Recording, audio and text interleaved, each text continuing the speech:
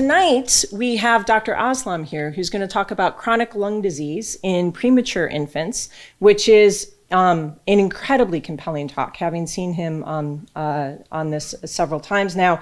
I want to take a few minutes, though, and set up his lecture and kind of the basic science side of the lecture. While he's a clinician scientist, there are some things about the particular cell population that he works with that I think is really important for everyone in the audience to understand. And so I'm going to spend a few minutes and just kind of set up where he's going in terms of his lecture with some basic background. Now, the particular kinds of cells that he's used in his work are called mesenchymal stem cells or mesenchymal mesenchymal stem cells. Um, and these are most commonly derived from two possible sources. One is bone marrow, and the other is umbilical cord. But you can also get them from adipose tissue, in other words, fat, um, amnion or amnion epithelial membrane, and even placenta are places that these cells are isolated from. Why is that important? Well, I'm going to try and walk you through that in a few slides. These cells um, were first defined, the cell population. Oh, great.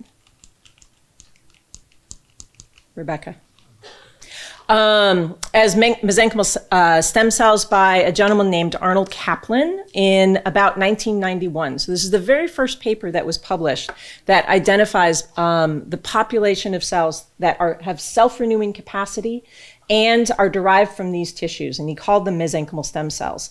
He defined in that paper that they can form, thank you, ma'am, um, that they can form the following tissues bone, cartilage, tendon, ligament, marrow, stroma, adipocytes, fat, um, dermis, or contribute to skin, muscle, and connective tissue. And that was pretty exciting at the time. The idea that one stem cell population had been isolated that had the capacity to be able to contribute to all of these different lineages. In fact, um, between that time, 1991 and 2019, we know an awful lot more about these cells, not surprisingly, than we did at the time. So this is a recent diagram that came out uh, sort of encapsulating the field of mesenchymal stem cell research during this period published in Nature Protocols. We know a lot more about these cells and the complexity of how they interact than we did then. For example, we know that they um, are almost always affiliated with the vasculature. So the niche for these cells, where they live, is a perivascular niche, and it's maybe the contribution of a perivascular stem cell that's really the origin of a mesenchymal cell. But in that complexity, we found out a couple of other things. The field launched forward dramatically, not just in terms of basic science research, but in terms of something that Dr. Cummings spoke to um, this audience about back in June, and that is the direct to consumer marketing of stem cells. And this is why I felt like it was important to set up Muhammad's work a little bit and spend a few minutes there. So, this picture is actually from a paper that was published in um, Nature just about a year ago. The title of it was Clear Up This stem cellness mess.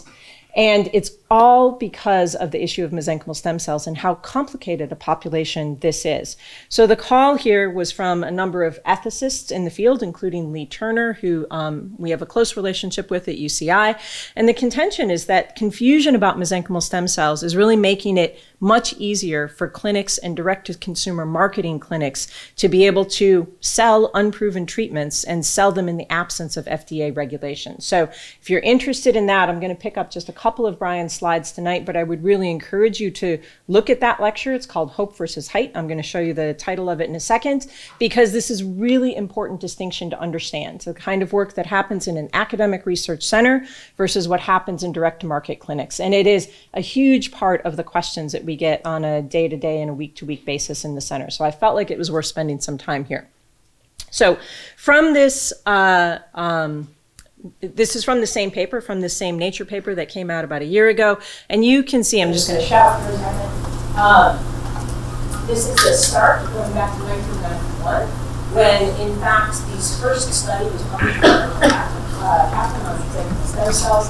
A lot of research that happened between only up here. in these two particular studies that came out in 2014 and in 2016.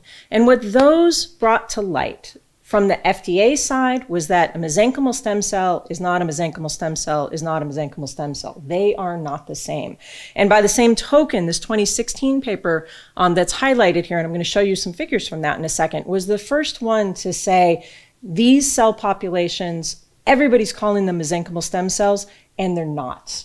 And you guys think you know what you're working with, and you don't. And if you're going to take these to direct to market clinics, we had better figure that out and be able to do a better job than we are right now. So, what do I really mean by that? Well, mesenchymal stem cells from different adult tissues really are functionally different and they don't all have the same capacity. So when we're doing academic research, that's one thing because we characterize those cells pretty carefully. In a direct to market consumer setting, the concern is that that doesn't necessarily happen. So if you look up here at this graph, this is called uh, principal component analysis. It's a way that we look at data that's complicated data in science. This happens to be from the transcriptome, all of the RNA species that are being made by cell populations that are isolated from these different tissues. So thank you. Perfect. And there we go again.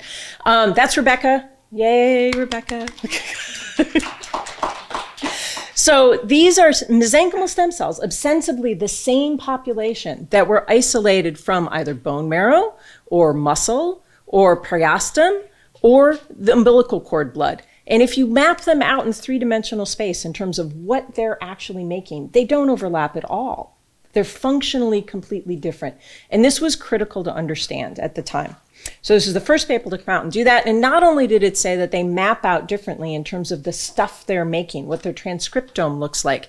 In fact, they map out completely differently in terms of what their capacity is. So these cells, as I showed you from the original Caplan paper, should be able to make bone and they should be able to make muscle if they're truly a stem cell. But in fact, if you put them to the test in a dish, isolated from adult, mesenchymal cells from bone marrow can't make muscle. Periosteum can't. Cord blood can't. Only mesenchymal cells isolated from muscle actually make muscle, and that's what's shown in the red labeling here.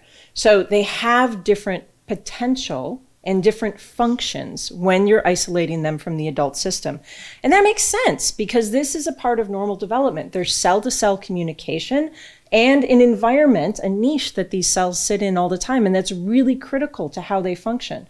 If we just pull them willy nilly out of everywhere and expect them to do everything, we're asking an awful lot. They can't function like that because they're meant to be programmed by what's around them.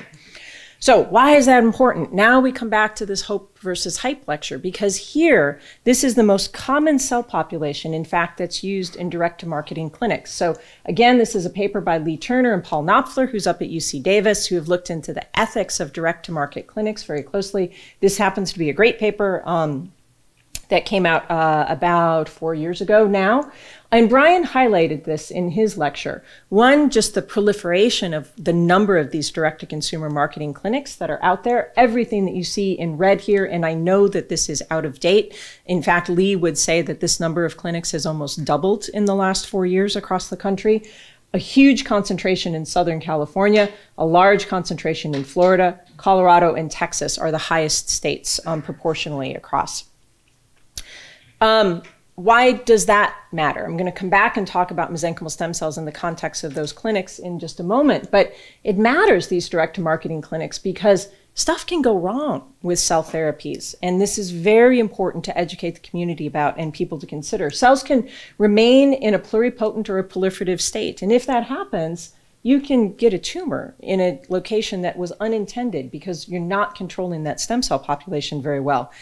Cells may mature and differentiate properly, but if they migrate to the wrong place and they make muscle, for example, in brain or, you know, toenail in your appendix, that's a problem, right? They're following cues that may be present, but you still can get to cells that are non-functional or inappropriate and cause more problems than they help.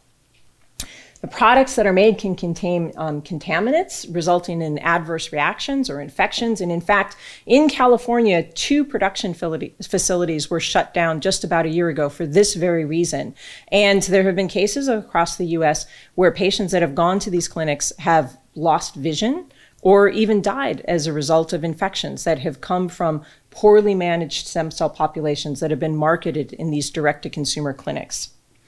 Um, critically for people like I work on spinal cord injury. If you go to a direct to market clinic, there are many things moving forward, especially for neurological diseases, spinal cord injury, traumatic brain injury, that have real promise in the clinic that are being done in academic clinical trials. But a direct to market therapy may result in being excluded from the potential to be involved in any of those future clinical trials, which is not what people generally want. But unfortunately, clinics don't necessarily tell the folks that are coming in the door that.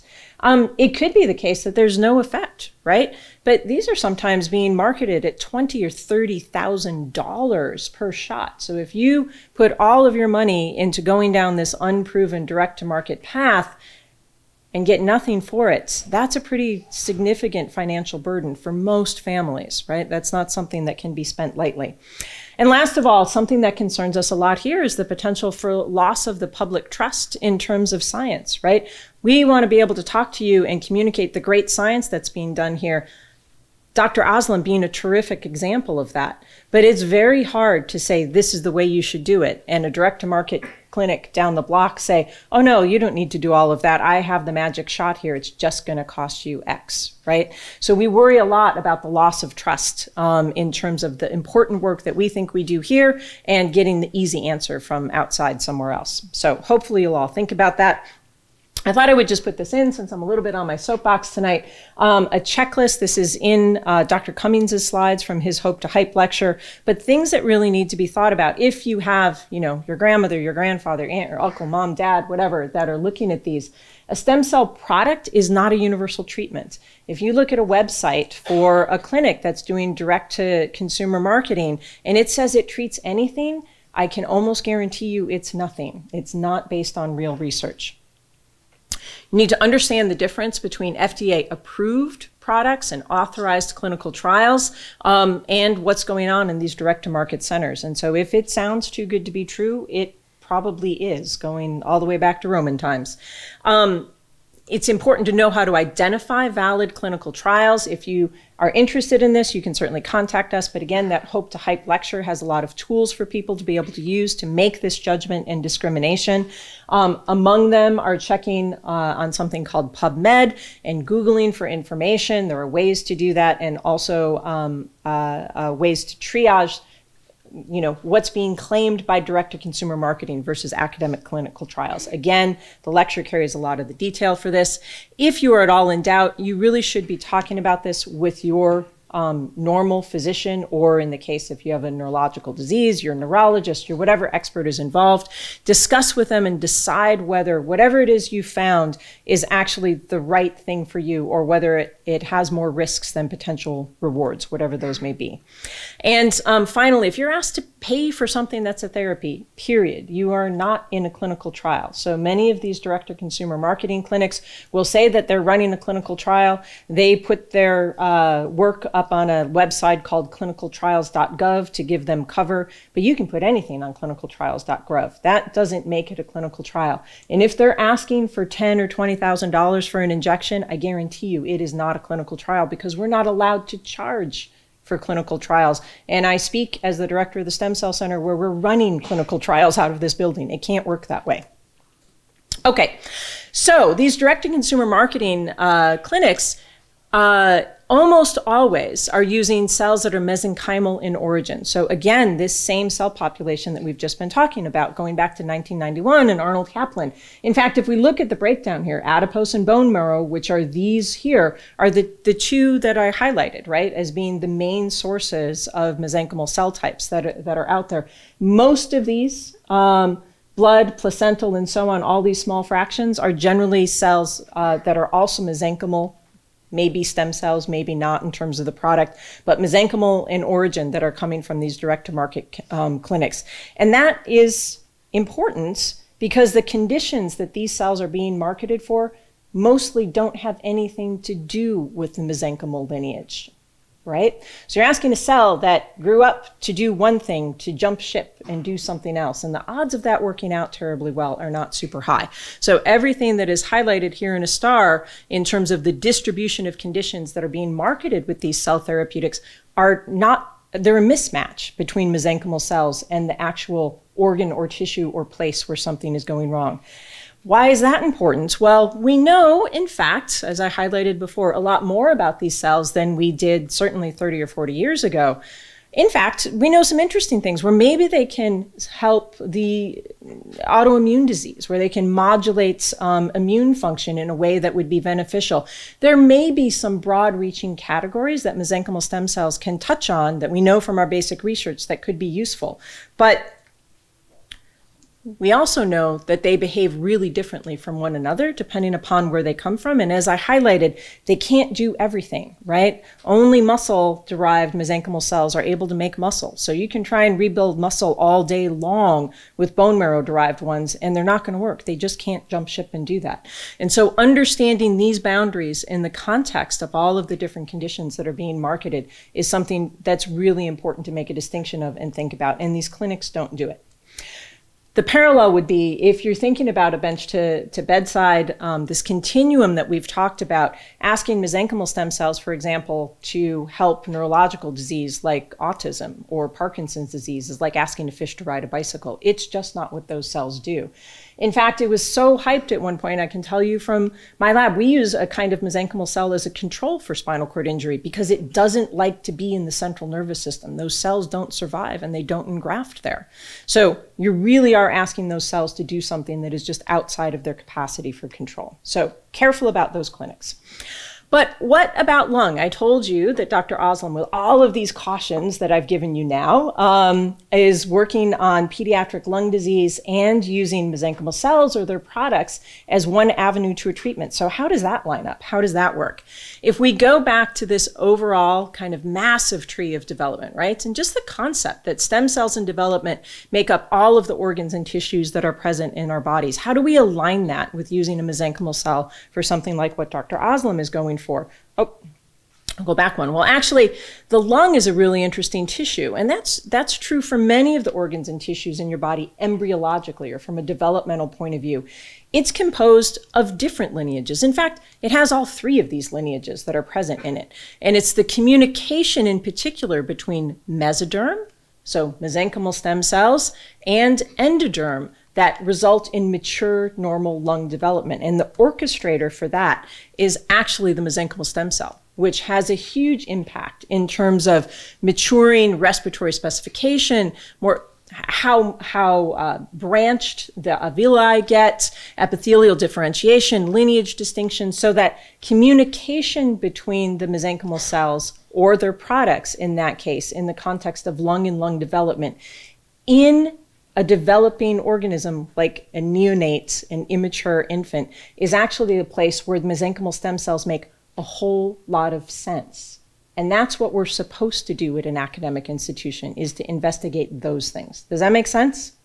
So with that background, all the caveats that I've given you, and I hope setting up the context for why the kind of clinical oriented but basic science translational pipeline research that Dr. Aslam is going to tell you about is so important and why that basic science to translational pipeline in an academic setting is so important. I hope I've convinced you of that. And with that, I want to introduce Dr. Aslam.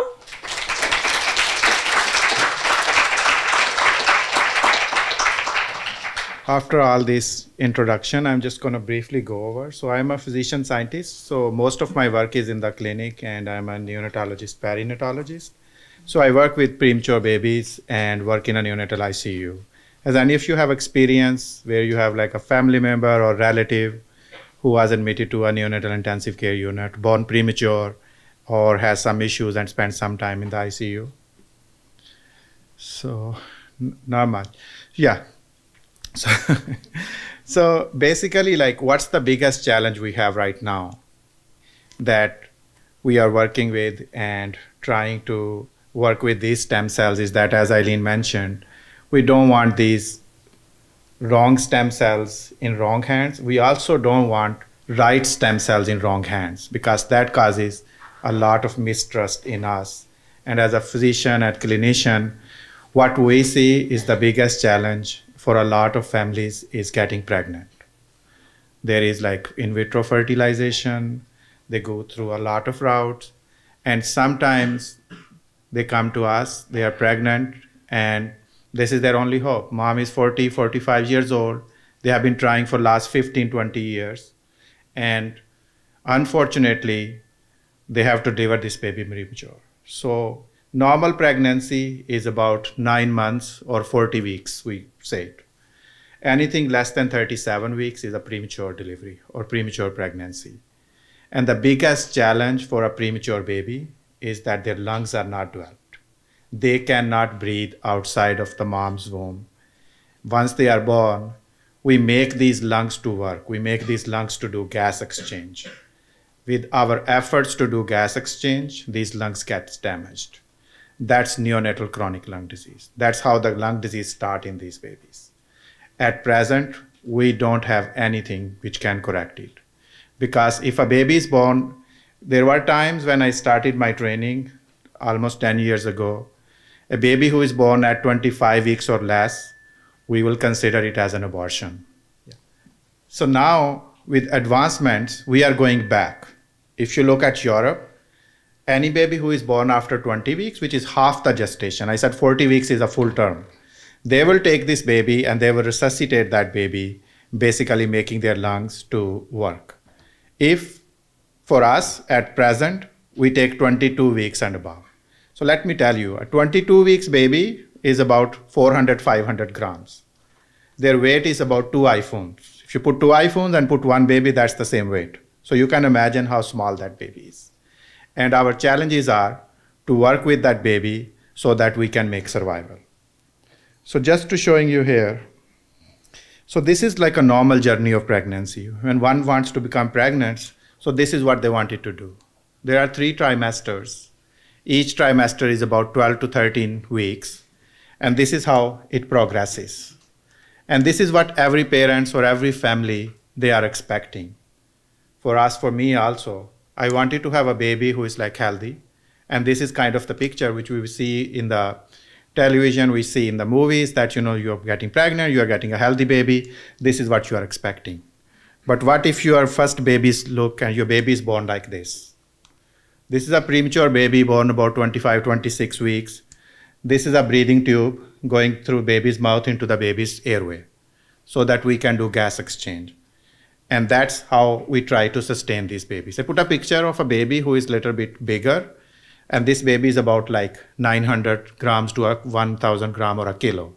Imagine a baby who is half this size, have a tube going through the nose and through the throat, and then we start to resuscitate these babies. This is another small premature baby, same scenario. Look at the skin on this baby. If it baby is born five years from now, today, like five years in the back, this is an abortion.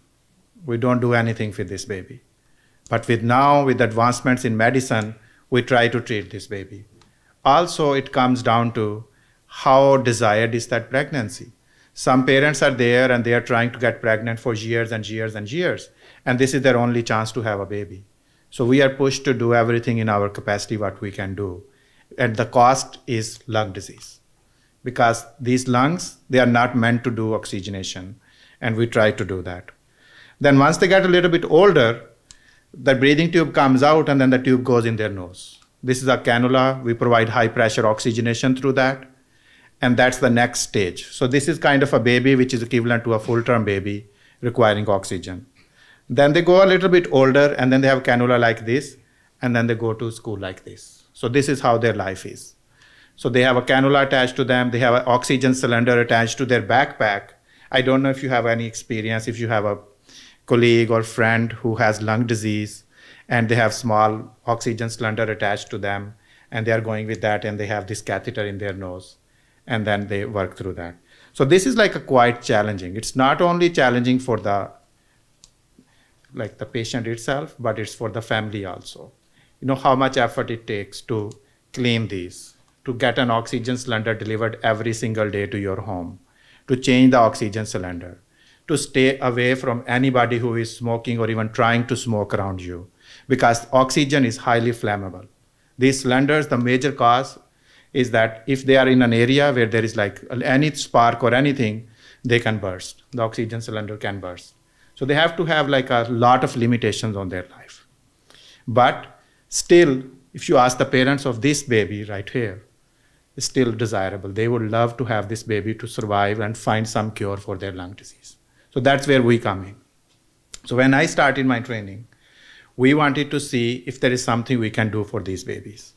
because all these babies who are coming to us, they ultimately get lung disease and go like this. And then once they are a little bit older, they develop asthma, they get infections, and that's like another continuation. So we call this at neonatal chronic lung disease. We also call it as BPD. If you search it, you will find a lot of information about it. BPD is like bronchopulmonary dysplasia. So what it really means is that these lungs, when they are born, they have, instead of having normal gas exchange units, which are called alveoli, they are all messed up. Because we give them pressure, we try to open them, and once we try to keep them open with our pressure, they get inflamed and they get stiff. So now they don't close. So that's COPD in old people. When the people are older, they get lung disease, it's called COPD. You must have seen ads in the TV. People with COPD are exactly like these babies which we have. They have the oxygen requirement, they have oxygen cylinder, they have everything like that.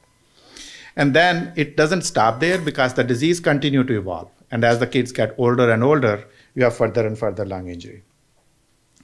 So once we have these babies, half of them do not make it out of the ICU. 50% of them die in the ICU because no matter what efforts we do, the gas exchange, their lungs give up at some point because these lungs are not meant to do anything. These lungs have no capacity to do gas exchange. We force them to do it. Other 50, 60% which get home, then they have repeated infections. They get an infection, especially this time of the year when there is a lot of influenza around. Even with flu shots, they will still get influenza. For us, healthy people who has normal lungs, it might be a minor illness. For those whose lungs are already working at 20, 30% of the capacity, if they have like an other hit with pneumonia or influenza, they will be admitted to the hospital. They might require a breathing tube again. They might require medications again. They also have issues with their heart thickening and they have blood pressure issues. They don't grow well. Their brain growth is poor. They have poor school performance because their brain doesn't get that much oxygen which is required for the brain to receive. And all this actually ultimately affect the family dynamics because if you see that family, how they are working with these babies, then it's like quite challenging. So this is what we have. So this is how normal air sacs or alveolar units are. So this is just a section of the lungs showing like how we have normal small air units which are doing gas exchange. When we have lung injury, we try to force these units to keep open and force them to keep open further and further and further. So what's going to happen? Like when you try to put air into a balloon and keep inflating it, inflating it, at some point balloon is going to give away and it's going to rupture. Once it ruptures, it causes inflammation around it, and that's what causes lung stiffness. Whenever we have a scar, that area gets stiffer. So when you have a scar around this alveolar unit, it's not going to expand any further. So that scar is going to stay within the lung. So that's like chronic lung disease, that's BPD, that's lung injury in like, you know, simple terms. So why it's important, why we are like struggling to work to find a cure for the lung disease. These numbers are for almost five, six years ago, and it's probably doubled by now. About 100,000 of 120,000 babies in the United States every year, they are at risk to develop lung injury. And then every day, about 100 babies develop lung disease. Every single day, while I'm talking to you guys, there are 100 babies here who are going to be developing the lung disease.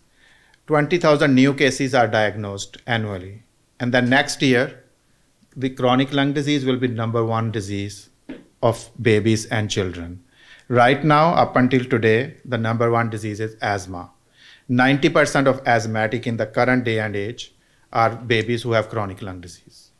So if we don't find any treatment or cure, ne starting next year, this disease is going to bypass asthma. So it will be all lung disease, chronic lung disease, and going from there. With same situations and scenarios, we are asked to expand our NICUs. So we have capacity of 44 beds at UCI.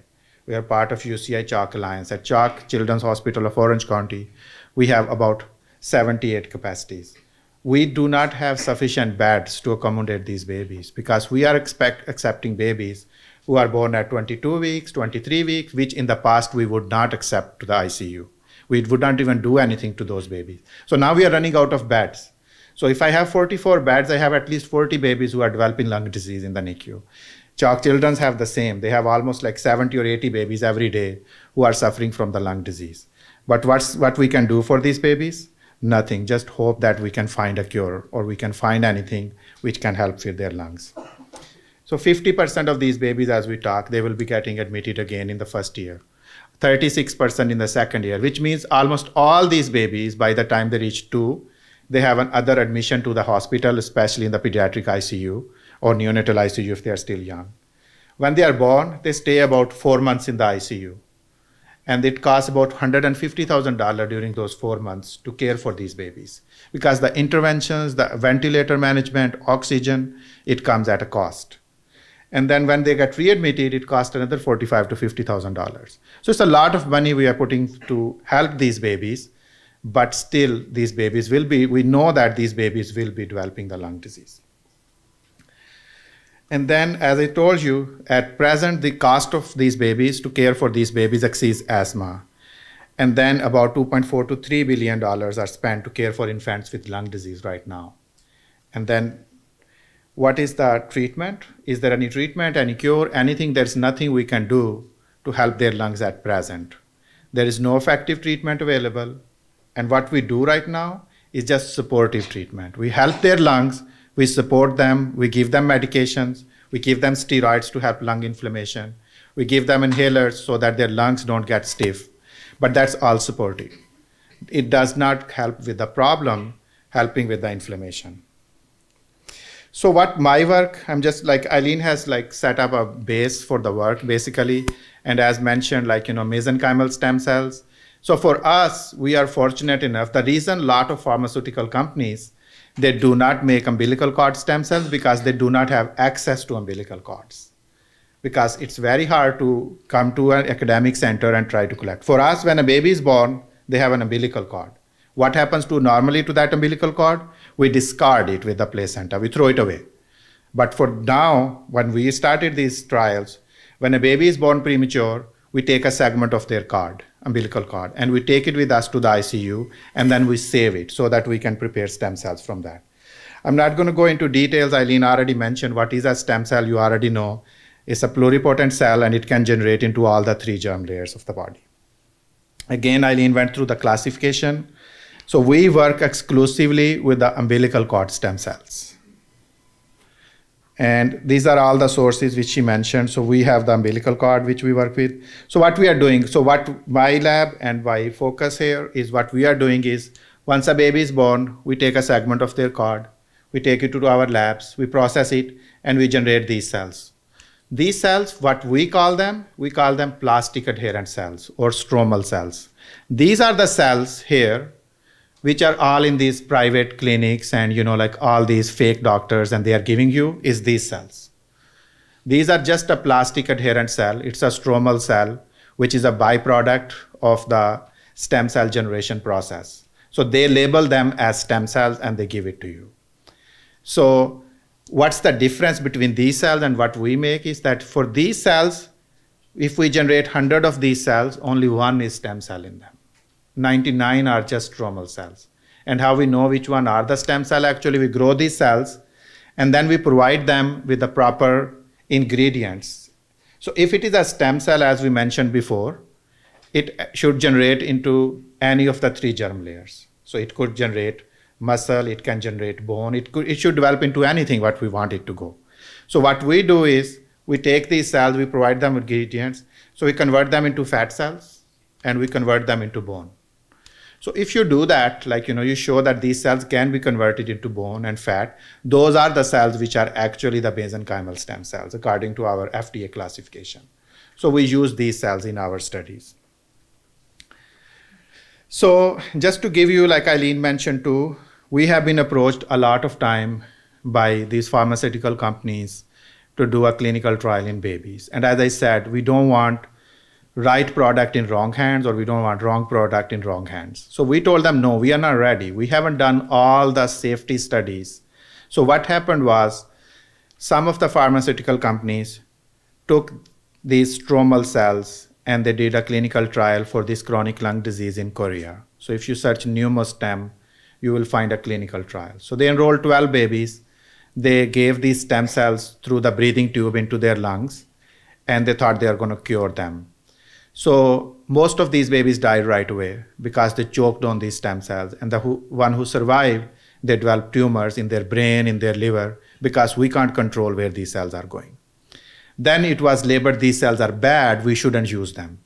So that's where we come in because cells are not bad. These were wrong cells in wrong hands, which is bad. We are not ready to do any clinical trial yet because we just want to make sure these cells are what they are supposed to do. So that's the first thing, growth potential. Second is secondary sanctuaries. When I'm working with these stem cells, we inject these stem cells, we do animal studies first. We go with our animal committee. We, we go through them, we tell them how we are going to treat these animals, and we inject these stem cells. So what we found was these stem cells actually help the lungs. They prevent the lung disease. But if I inject 50,000 stem cells into the baby mouse, I see only five there. Where are the rest of the almost 49,000 cells where they are going? So when we looked at it, they were going into the brain, they were going into the liver, they were doing exactly like these companies did the trial in babies. So they were making tumors in the lungs, uh, like tumor in the liver, tumor in the brain. So we said this is not like a right approach yet because we can't control the fate of these cells where they are going. So then we came to targeted therapy. Like, can we do something? We can change the fate of these cells somehow where we can say they are only going to generate lung and not do anything else. So we'll go into in details in a second. And then side effects, you know, like these are cells. So you're injecting cells into a vessel or into the lungs, they are going to get stuck into the small blood vessels of the baby. They are going to cause like choking in the lungs, they are going to cause stroke. So those are the complications which can happen. So that's why we are still working with these cells. We are not ready to do a clinical trial.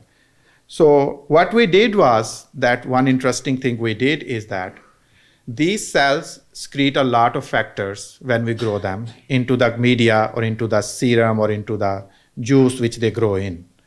So what we found was that a lot of these factors which they secrete can actually prevent lung injury. So if you see here, I have highlighted some of these factors. I don't want to go into the details what they are, but these are all the factors which can generate lung. So what we have found is that if you take these factors, you take an artificial lung, you provide these factors, the lung will grow and recover from injury. So what we wanted to do next was to see our umbilical cord stem cells, when we generate them, we grow them, will they secrete these factors? And in the blue section, they do.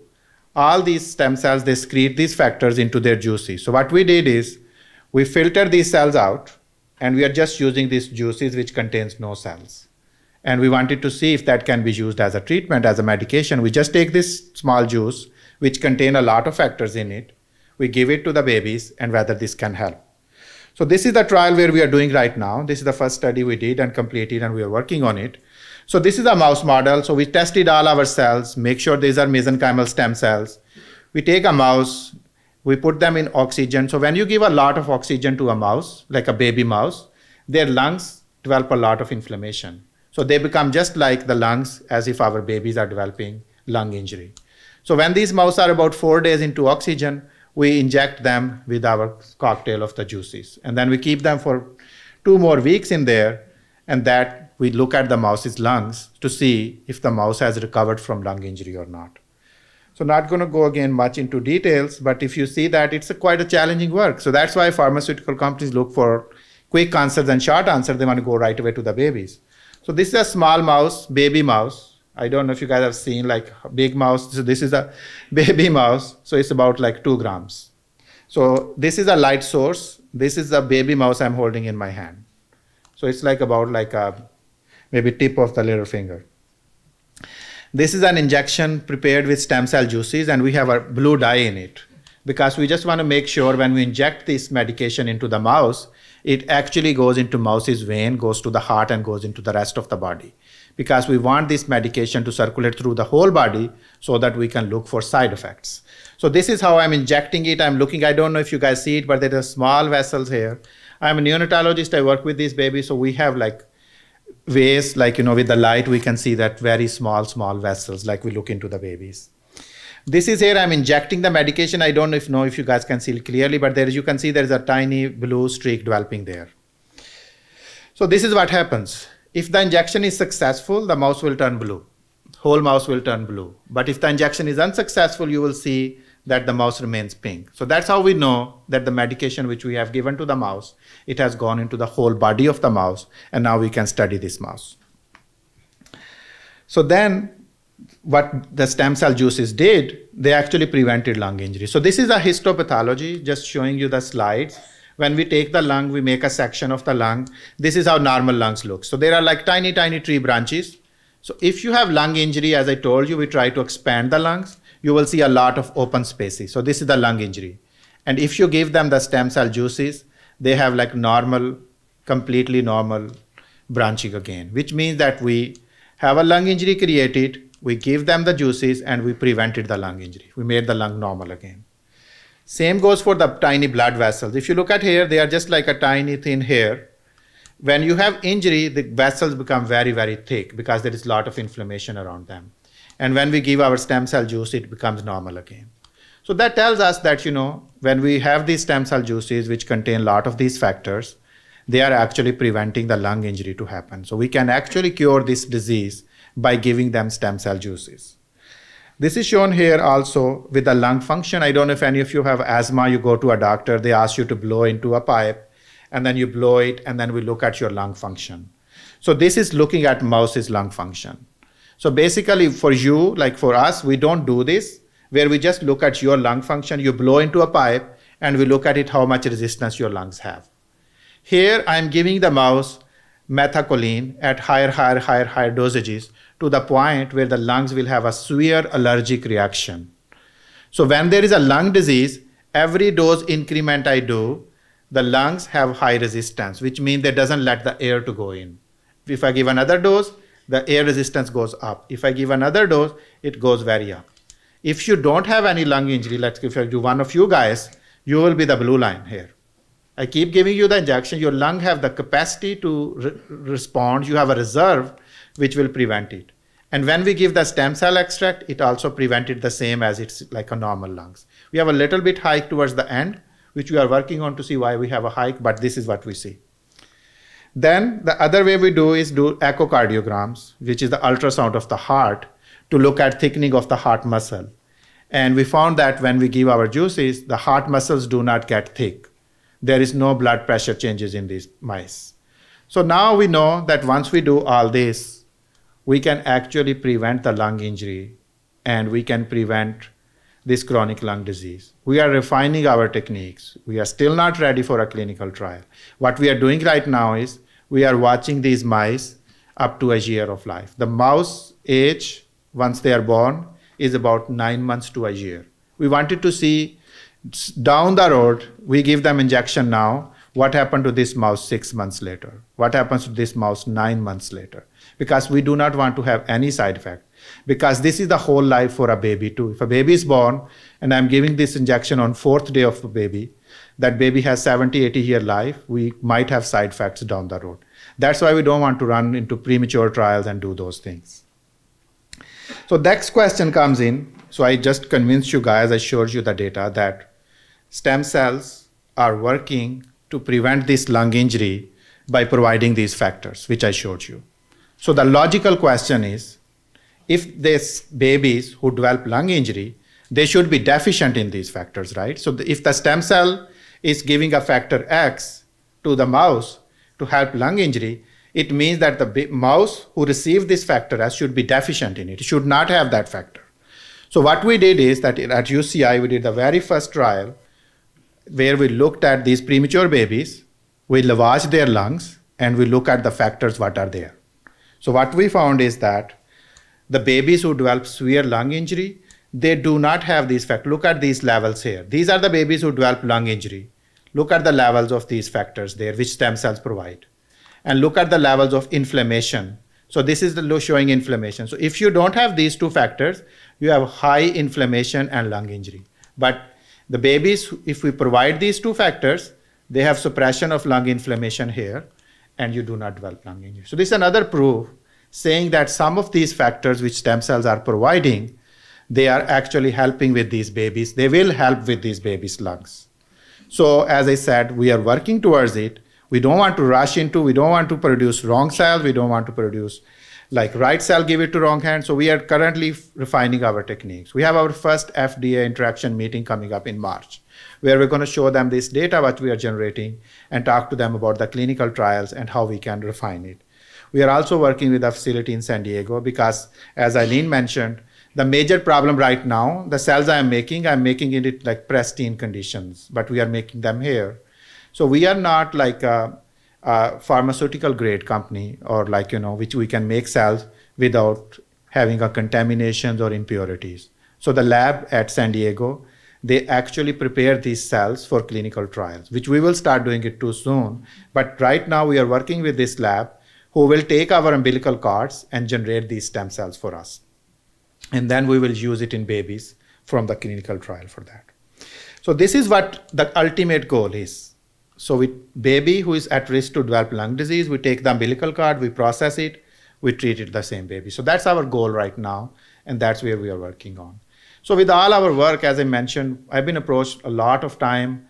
I get almost more than 100 emails daily from parents. They're looking at our website, they're looking at our work, and they're asking, can their babies get these stem cells? Can their babies get? Even the babies whose umbilical cords we have taken to generate these stem cells, they are hopeful that in the coming years, hopefully we will generate these stem cells as a medication. It will come as an injection where you just give them one injection in doctor's office and they will be happy for a year, two years, three years, and then they will get another injection, and then they will be happy another two, three years. But our answers to them right now is the same that we are working on it. We want to refine our techniques. We once we have like a, everything in place, then we will work towards trial. They will send me the same email. They will even send me like uh, screenshots. There are like these fake doctors or the fake sites they have clinics here in Southern California. You can't even believe it. In your neighborhood, you might see somebody doing this. They wanted to come, these babies to come in, pay $50,000, and they will cure their lung disease. There are a lot of like, you know, mishaps happen. People are going outside the country, going to Mexico and other places to do that. And I know there are a lot of, you know, like drug companies, they started their trials in outside countries because we can't allow them to do it here. So be careful, like, you know, what you're looking at. And then, you know, the resources Aileen showed you, they are beautiful resources. Go there and look at that to go from there. So we have been like recognized for our work. Like I have presented my work in all the international conference. We have been recognized in so many places. And we just wanted to show you this work that, you know, like if you have any, you know, like inside, you want to look at it. If you want to observe our ICU, you want to come in and see how we treat NICU babies please more than welcome just let me know. So the bottom line now is that the summary is basically that babies who develop lung disease they lack these stem cell specific proteins. Stem cells protein or their juices they can provide these protein and we can generate this exciting new therapy for this chronic lung disease. So that's what our goal is right now. So our that's motto of our lab until every child is healed of BPD so i'll take the questions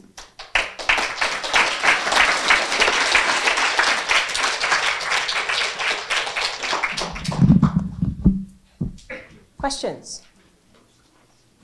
Oh, come on.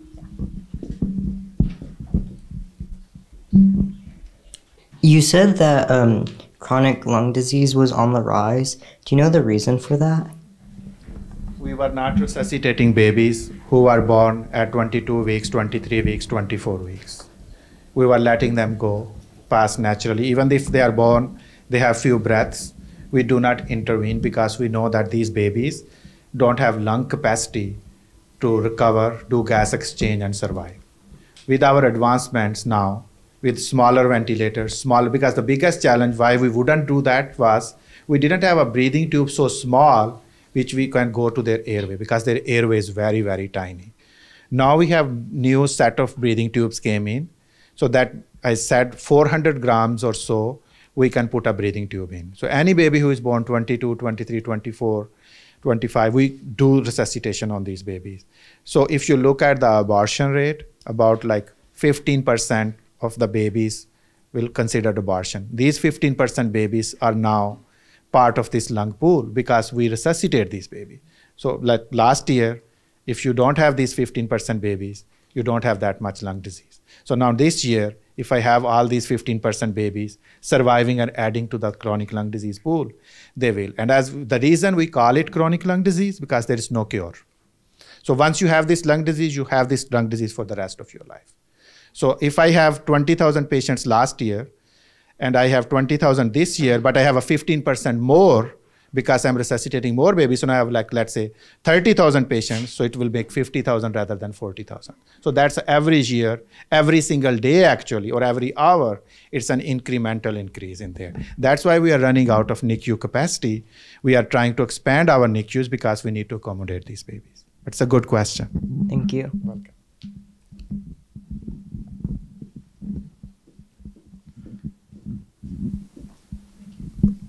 Uh, you mentioned that um, the premature babies are in, unable to uh, make the protein factors. Do you foresee like a future treatment, um, like rehabilitating that instead of like having like two or three years injection every single time? Yeah, so at this moment, we don't know what is the right approach or what is the right answer. Because for us, who doesn't go through this prematurity like a normal newborn baby. Some of normal newborn babies even have a little bit lower level of these factors but they produce them. Their lungs produce them. And lungs technically keep on growing until the, we are seven years old. But if the lungs gets damaged and then they recover we don't know how much they will produce. Right now with our animal work we are giving one injection and we are seeing protection for the rest of the lifespan of the mouse, which is six months to nine months. But whether this one injection alone will be sufficient for a clinical trial for a baby, that will happen when we start a clinical trial. We give them one injection, we'll follow these babies and see what happens to their lung injury. And let's say three years later, they have a little, you know, like flare, or then we might need a second injection. We don't know the details for that yet, but that's a very good question. At this moment, we don't know. For mouse, we are using just one injection. You mentioned that uh, you started resuscitating babies after the 20th week. Why the 20th week? Like, what's unique about that specific date, and what happens if you were to do it earlier? Again, excellent question. So, as I mentioned partly with the question from you, that the problem we have is we can technically resuscitate any baby, you know. Once that they are about 18 weeks baby, is fully formed in organs. So if you look at a baby, the picture I showed you, complete skin starts around 18 weeks. That's the time then, I don't know if you guys know, 18 weeks is the time when we do detailed ultrasounds on the baby or the fetus at that time. That's called anatomical survey. That happens at 18 weeks. What we do in that is that we check that the baby's skin is developed the baby's heart should be functioning on its own at that time. There should be all the organ system developed normally. So that's 18 weeks landmark.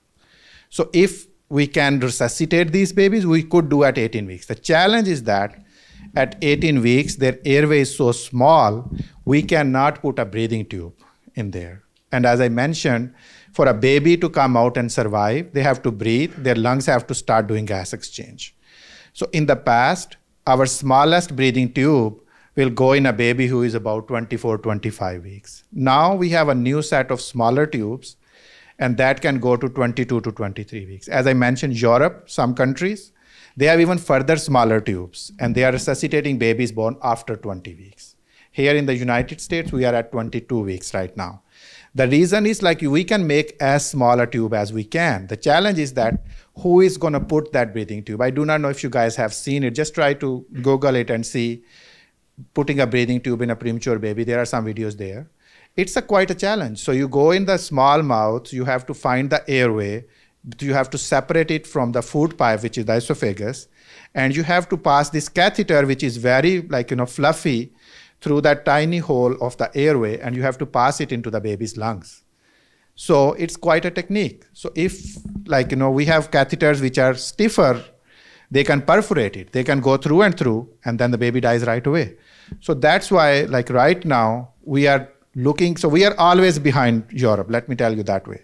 They go first, they test these all these catheters and everything and then a few years later once the safety data is available, we do that.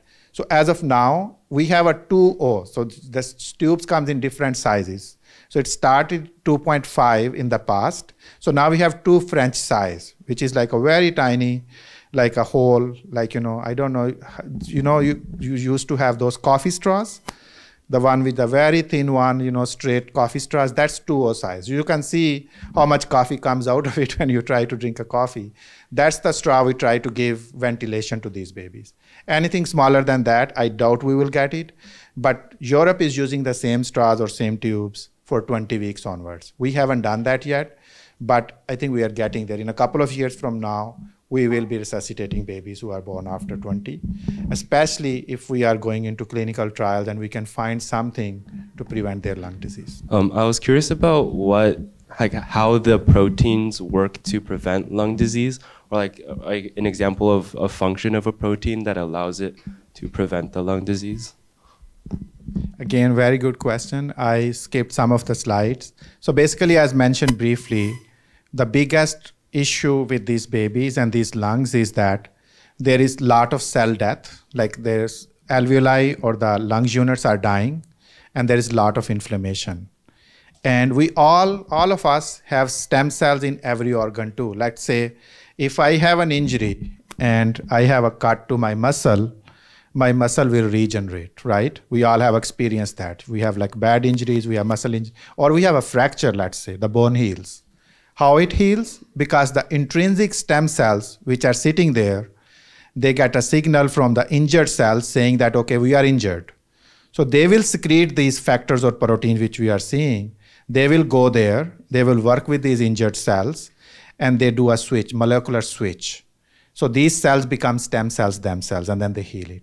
What we think is that these cells, proteins which we are giving, they are working with babies' intrinsic cells and converting them into more primitive cells. So premature babies already have lung cells, which are very primitive. They are very primitive. These lung cells, if I take it from premature babies, I can actually generate them into stem cells because these are very primitive cells because the lung is still developing. So lung, when the lung is developing, the blood vessels within the lung is developing from the same cells too. So as Aileen mentioned, there's a mesenchyme, there's endothelial layer, and there is an ectodermal layer. So all three are there. So that's what we thought. That's what I showed you a brief slide of TGF beta 1, one of the molecules, which is inflammation. So these cells suppress inflammation also. What is happening at the basic molecular level, we are still looking at that. All right, I'm going to go here. Can you pass this? We have one more.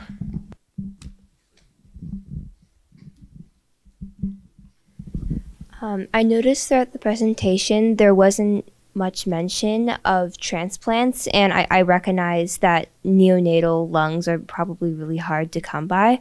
But I was wondering what would happen if an infant or young child with um, BPD or like lung disease, um, if they were implanted, if they had, if they were given new lungs, would the would their lungs still eventually fail because like their lungs would be brand new compared to like the rest of their body which had been like deprived of oxygen for so long like w- would that make a difference an excellent question. So, what do you think? Why we don't do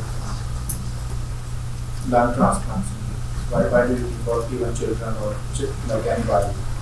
Why even adults? Why we don't do lung transplants?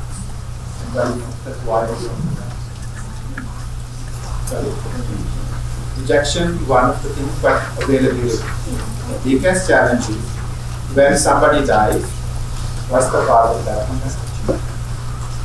heart and lung failure. That's how we. So when we die, we are harvesting organs. We put their lungs on artificial support so that we can give oxygen to other organs of the. Liver, kidneys, heart. But lungs itself, they are gone by. If some stages, you have some stages where somebody is an organ donor and he's not completely died, but he's still in the stage where family wants to the organ you take some people per month. The problem is when you do lung transplant, you have to do a lot of chemotherapy? You have to do medication to prevent rejection. And future babies or babies or the children, these are not compatible. You cannot. So that's why lung transplant is not an option. One more. So you have a question, right? Can you shout it and just repeat it? Are there like any risks of the patient's body like rejecting the injection, or like is the goal to have all the injections be made from this patient-specific embryo? Excellent question. So what we are doing right now is the biggest challenge is going to be if I'm using baby X stem cell and injecting into baby Y, those can be rejected, right? So the beauty is that the mesenchymal stem cells are immunomodulant. So they do not have like, you know, factors or receptors on them which can cause graft versus host disease, where you can inject one cell like a blood transfusion, you know, giving O positive person A positive blood, so the antibodies in the O positive person will attack those cells. So the mesenchymal stem cells are immunomodulant, number one. Number two, we are not using cells. So we are taking their juices and we are filtering the cells out so we are not using the cells at this moment. So both of these, when we were using cells only, we actually looked into that, how the graft versus host disease will come. That's how we came to know very few cells actually stays in the lungs and all of them are going other way, causing tumorous, you know, like growth in the other parts of the body. But that's an excellent question.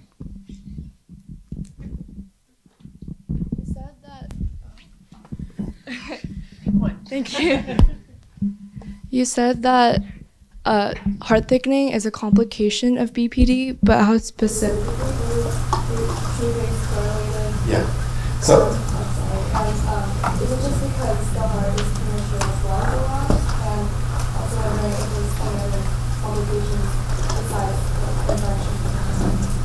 Yeah, again, very good question. So, what happens is like normal heart, we have like two sides, right? So, we have right side of the heart and left side of the heart, right? So, all the blood which is dirty or contains less oxygen from the body goes into the right side of the heart, right? From the right side, the right heart pumps this blood into the lungs, correct? Lungs clean it, send it to the left heart, and left heart send it to the body. So, normally, for a normal baby or for all of us, when the right heart is pumping this blood into the lungs, our lungs are not stiff. Our blood vessels are not thickened, right? They are not very thick. They are normal vessels. So it takes very little effort or push from the heart to send this blood into the lung, right? In babies who develop lung disease, their lungs are very stiff. They don't open. Their blood vessels gets very stiff too. So now this heart has to pump blood into these stiff blood vessels. So it has to work more and more and more right? It's the same thing, you know, like you have a like um, like a water hose and you have a large pipe attached to it. So it will be just very easy to sprinkle it. And then you have a very tiny pipe attached to it. You will need much more force to do that. So when the right side of the heart keep pumping this blood faster and harder and harder, the right side muscle starts to develop, you know, like thickness too. Because now the right heart has to work more that's how they develop this right heart so normally all of us like if we have a hypertension we have a blood pressure issues it's the left side of the heart which we can measure it on the arm right? So when we go to doctor's office. For these babies they develop right ventricle right side hypertension which we have other sophisticated ways to measure which i showed. One way is the echocardiogram looking at the thickness of the heart. So ultimately when the left heart starts to fail it's not going to pump blood into the lungs, right? And then when the blood is not coming to the left heart, left heart to work harder to send this half amount of blood into the body. So then the left heart starts to fail too. That's how they have lung, like heart disease. Um, how do you get the cells to produce the proteins you want? Yes, that's a very good question. So I wish I know how to tell cells what protein to produce. So it was incidental finding how we discovered that these cells produce protein. Is was like one of like you guys like one of students working with us. He came to us with an observation saying that so as Aileen mentioned all stem cells we have to have control cells. If i'm injecting a stem cell i need to have a control mouse where i'm injecting some muscle cells or something saying that it's not just like you know by chance that we treated this right so when we were growing these cells, we also have some muscle cells to grow. We were taking dermal cells, you know, skin cells to grow. So one of my postdocs, so they came with an observation saying that the cells, when we grow stem cells, two days, we change their medium every two to three days to give them fresh medium so that they grow. He's saying whenever he changed the medium, the stem cell medium is very thick. It's like soup. And the medium from the muscle and from the skin cells it's the same as he put it a few days ago. He doesn't even think that it needs to be changed, right? So we looked at it and we said that's strange. The medium is really thick. It may be containing some factors or dead cells, right? So then we started counting the cells. We played 50,000 cells. They grow. So they become two hundred thousand dollars, uh, two hundred thousand cells in two two days. Yeah, I know. I wish I made cell dollars. Anyway, so we looked at it and then we took this medium out and we have a sophisticated process called proteomics analysis where you can put this media into a gel, put it through the machine, and machine tell you how many proteins are there, right? So we did that first time. So the cells, our cells produce more than 1,000 proteins at any given time but we only look at what's the highest concentration of proteins being produced. That's why we are using still the stem cell juice, which contain all these thousand proteins, to give it to the babies, to give it to the mouse babies, to use that. Because we still don't know out of these thousand or eleven hundred proteins which are more active. But we do know that four of them, which I showed, if they are not there, if we knock them out, take it out of them, then the cells don't work so this is how we came to know that but there is no way i can direct these cells to produce only a certain protein at least right now maybe there are some techniques we have something in the future Any other questions? So, one microphone down. i can bring the mic Well, if you just repeat. i'll just walk around so i'll repeat your question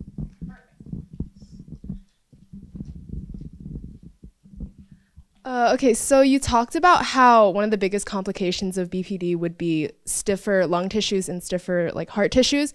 Um, so if potentially there were like medications or steroids that could uh, make these at normal function and normal capacity, would the lungs and the body still be working at um, inefficient rates despite having these pathways to do so?